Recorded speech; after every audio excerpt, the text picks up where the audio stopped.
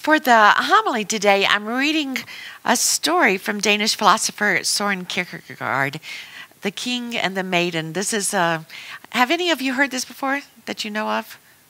Good, because it reports that it's often read on Christmas Day, and I thought, oh dear, but we're going for it. So here we go.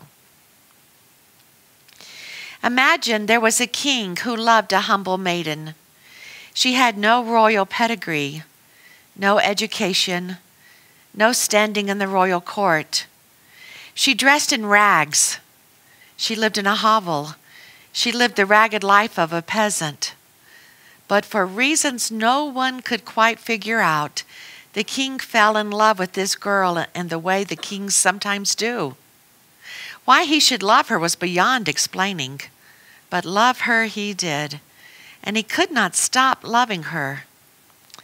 One day there awoke in the heart of the king an anxious thought How in the world is he going to reveal his love to this girl?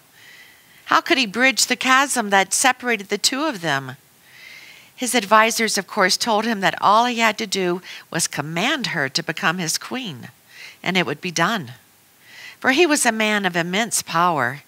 Every statesman feared his wrath. Every foreign power trembled before him and every courtier groveled in the dust at the king's voice. This poor peasant girl would have no power to resist.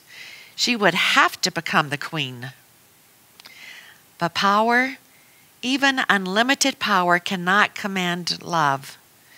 The king could force her body to be present in the palace, but he could not force love to be present in her heart.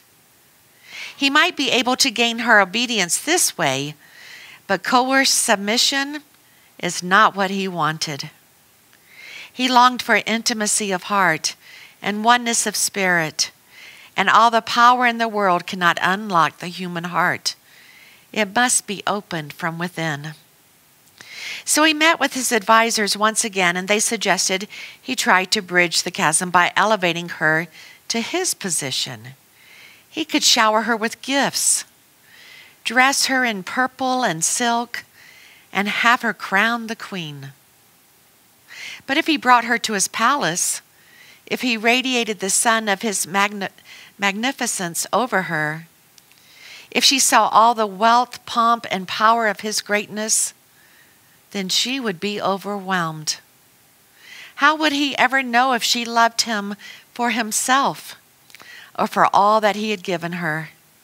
And how could she know that he loved her and would love her still if she had remained only a humble peasant? Would she be able to summon confidence enough never to remember what the king only wished to forget? That he was the king and she had been a humble maiden. Every alternative he came up with came to nothing. There was only one way. So one day the king arose, took off his crown, relinquished his scepter, laid aside his royal robes, and he took upon himself the life of a peasant.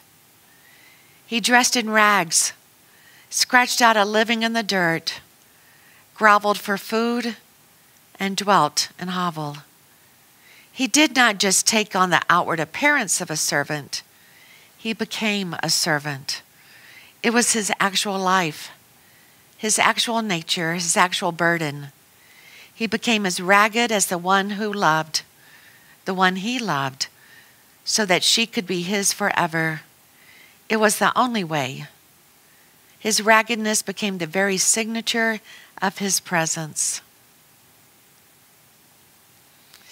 And the Word was made flesh and dwelt among us, and we beheld his glory the glory as of the only begotten of the Father, full of grace and truth. And for that we say, Thanks be to God. Amen.